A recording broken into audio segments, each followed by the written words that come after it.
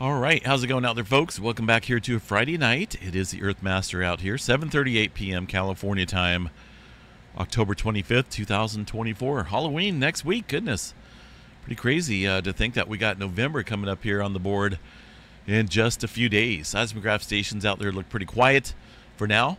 Uh, latest activity here on the earthquake 3D globe shows a 1.9 into Alaska. Also, some further movement there into Southern California around the Death Valley area where we're still seeing some movement here tonight with a couple smaller quakes here. We're not seeing any fours like we seen out here earlier this morning. That was quite the uptick uh, in earthquake activity out here. So far, we got a total tally of about 30 earthquakes of various magnitudes. Three of those are in the 4.0 range, with the highest being a 4.7. But get this this earthquake swarm did not kick off with a 4.7 it started off pretty much with a uh, a little small. Well, let's see here. Did it really? It looks like they added this on here. Hold on, let me see what we got. Making me eat my words. Stand by here for a second. 25th. There's that 4.7. 4.2. So it does look like uh, this 4.2 stirred things up out here. There was a couple earthquakes prior to that over the last few days, some threes and ones in there. Um, but it looks as though that four pointer may have triggered further escalation here because we've seen a, a 4.7 following that, and then another 4.5, and then various magnitudes following that uh, uh, event there this morning. So, uh, you know, it's an interesting area. Uh, what I am seeing here is that it's on a broader scale region, uh, not centered mainly in one area. But it looks like they've done a little bit of adjustment here in the location of these earthquakes. A couple newer ones up here on the western side of the swarm, but it's around this mountain range here. Not for sure what's out there. Obviously, you know, there's there might be some older volcanic features out here. Uh, but this is, I believe, fault system related and potentially related to the Towne Pass fault. I believe it is right there, leading into the uh, northern edge of the Death Valley fault zone. It's got a little bit of migration here to the south, is noted towards this mountain range, but who knows? It could be on a fault system that maybe no one's even heard of, or maybe not even on the map here. Uh, but either way, it's a seismic uptick event. You know, we got 30 earthquakes here. That's a, a decent amount. And that's just the newest region seen uptick out here in the last couple months of seismic increasing events out here across Southern California.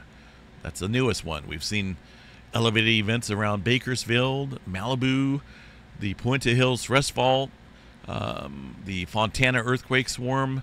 You know, it's it's not just one area. It's a broad region and guess what's sleeping out here? We got all this earthquake swarming going on, and it's trying to wake up the San Andreas Fault out there. It really is. Uh, there's one on the. Uh, it's a little branch here, the San Bernardino Mountain section there, the San, San Andreas Fault Zone, in a in the Bend area right here. It's a little concerning because any type of activity just here off of the plate boundaries indicative that things are starting to move, starting to strain out here. Obviously, it's been 300 years since the last major earthquake out here on the southern branch of the San Andreas Fault. And this fault system here, folks, this plate boundary, you know, that, that harbors a lot of strain in between two major plates. We're talking about the Pacific Plate and the North American Plate here. Eventually, you know, eventually Los Angeles will be up here around the San Francisco area, and they can be neighbors. You got this area of the land moving to the northwest, you know, so uh, eventually, this um, whole city area will be up there. But that's no telling. You know, if the sun will be uh, uh, scorching the earth by then, it's going to a long time. We don't even want to get into that. But we do want to talk about the possibility here of a near term uh, large earthquake striking out here on the San Andreas Fault. It's all pointing to that with all these individual swarms all over the place surrounding uh, and encompassing this plate boundary. It's either going to be the Garlock Fault shear zone or the San Andreas Fault here, I feel, is uh, primed for some bigger earthquake activity. Maybe one in the same here. One may trigger the other. kind of acts as a spring here between the plate boundaries, right? You got a totally opposite shear system here compared to the normal plate boundary. Things would be much smoother without the Garlock Fault shear zone, but it adds strain with that spring type operation here. Um, it's uh, definitely building up out here for sure, folks. And uh, it can happen at any any time. Uh, Northern California, not a whole lot going on out there. One earthquake just shy of the Cascadia subduction zone early this morning. Nothing major going on across the Cascadia for now. Let me uh, double check the tremor map here tonight. Crazy to think that the live stream's gone down so many times here today. Um, but it's it's getting annoying, and uh, someone's taking advantage of it. They know I'm sick so they're probably like, all right, let's play a little game with him. Let's let's make him stress a little, bring his stream down. And every time the stream goes down, I lose a notification for my videos when I get the stream back up and running, right? So we put out uh, one video this morning and two live stream notifications already. So I've lost my three notification systems here from YouTube for this update video. So not many people are going to see the update video uh, unless they click on the channel or uh, folks share it. Um, and I, I, think that's the the whole point that they're trying to do is trying to bring the channel down uh, and see if it can affect my views and whatnot, the statistics here of this channel. Uh, tremor activity confined here across the southern end of the Cascadia. Really nothing major going on. But uh, that could have something to do with this little earthquake out past this Cascadia, just shy of the Cascadia subduction zone. Continue to watch it, folks. All I know is elevated seismic activity out here is a key indicator of big time strain building up against the plate boundary. That's the San Andreas Fault.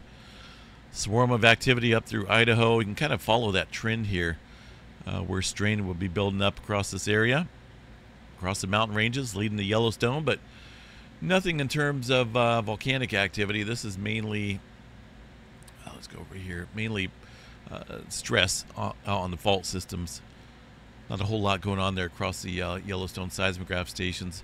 It's weird. Ever since I started visiting visiting this site again, the Yellowstone overview, the stream started to go down. So it could be anyone. Got to remember when you visit a website like this, unless you're on a VPN, uh, virtual private network, your IP address is available to these folks, and if they have some bad intents, you know, bad intentions there, then uh, yeah, I mean, it, it could be anybody it could be this, it could be the Earthquake 3D program, it could be someone on the other end of the seismograph stations there where I'm con- connected to an IP address to get this data. You know, it's, the internet is a crazy world, and uh, when there's bad people out there on the other side of it, it can uh, be a headache. Uh, not a whole lot going on through the uh, rest of the country. Let's see what we got for newer activity worldwide. Got deeper movement here into the Izu Trench once again. Things starting to stir up there with that deep earthquake. Deep earthquake activity there around uh, uh, China, it looks like. 4.1. Some newer activity out here in the 3 range, but really nothing big going on there for now. But again, deeper activity is going to trigger the large scale adjustment here in the coming hours and days. New Zealand three pointer out there in the South Island area. Uh, aside from that, uh, you know, I guess we'll continue to watch uh, Southern California here. A couple smaller earthquakes there venturing into the area. Uh, well, space weather activity. Really not expecting much here in the coming days in terms of the aurora activity. I'm, I'm, uh, I'm thinking this is going to be a dud. Uh, obviously, was a strong X flare, but we're just getting barely uh, a glancing blow from the western edge of the CME that popped off, and really not expecting much. They're they're calling for a, a quick jolt of a G1 class storm. I don't see it. This is for tonight. Um, nothing really going on on the Aurora forecast. No signs of any CME activity. Uh, so we'll just uh, have to play it by sight because we're not, uh, again, we're not really expecting much here in terms of the auroras. Now, flare threat has been elevated, 15% chance for the X flare. That is due uh, to a couple active regions out here coming into view, the Earth facing view here. Numerous sunspots showing quite the complexity out here.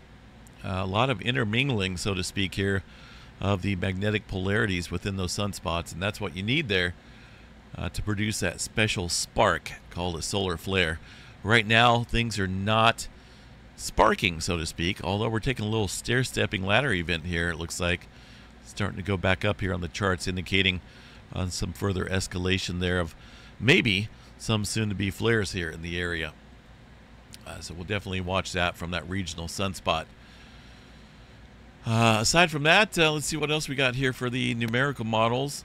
Latest model run here. Got California and the West Coast dealing with uh, some welcoming rain showers and snow and some cooler temperatures out here across the West Coast. That's going to intermix here with some warmer environments out around the southern plains, Midwest area, and create some severe weather potential out here across Oklahoma northward as we head into next week. Another storm system out here across the West Coast to uh, uh, make the uh, ground even wetter out here. We need it here in California. Unfortunately, these northern systems here, uh, a lot of colder air, but not a lot of moisture associated with them. So it's kind of um, not a big rainmaker, but we'll take any rain we can get. As uh, far as a hurricane potential, look at Southern California is going to get uh, some rainfall as well. Looks like uh, next weekend and early next week.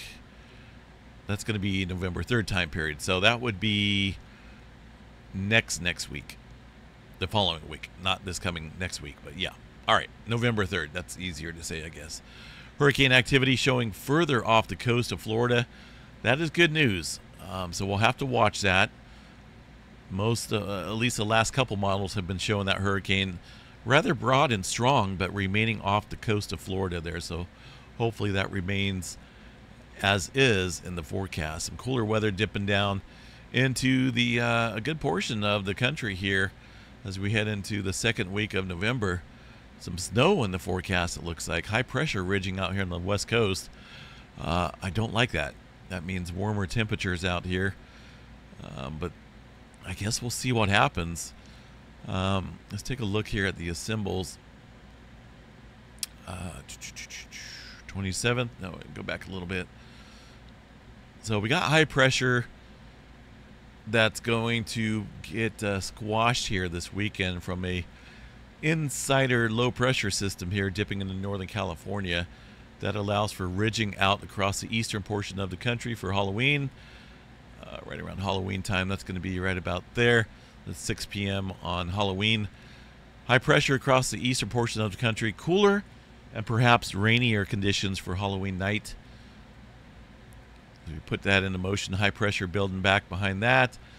And, uh, you know, it's, it's hard to say exactly this far out. Anything can change. Um, I'm hoping we get some low pressure out here dipping down across the western coast here again. Uh, we'll have to see how that plays out. I don't like these zonal flows here. It keeps everything fairly stationary. And uh, I like to see these dips indicating some cooler temperatures and rainier uh, conditions out there. We'll definitely uh, keep our eyes on that. Uh, Hawaii activity out here, really nothing major going on there across the area for now. All eyes here on Southern California for now. And uh, we'll catch you guys back out here tomorrow morning for the Saturday night update. We'll see how long this stream lasts. I'm uh, I'm hoping it doesn't go down. You know, it's it's been a little while since it's since it's gone down in you know in 24 hours like three or four times there. There's no issues with my internet. Everything is streaming just fine. Um, you know, excellent condition on all the internet and whatnot, but it is what it is. I'm hoping whoever's behind it gets a little bored. I, I don't see why that would be so exciting for them on a Friday night to bring my stream down, but hey, to each their own, I guess. I would just ask that they would stop it and uh, just basically leave the stream alone and go away. Anyway, have a good day, folks. Good night. We'll catch you guys back out here for the Saturday morning update. Take care about ready to lose my voice.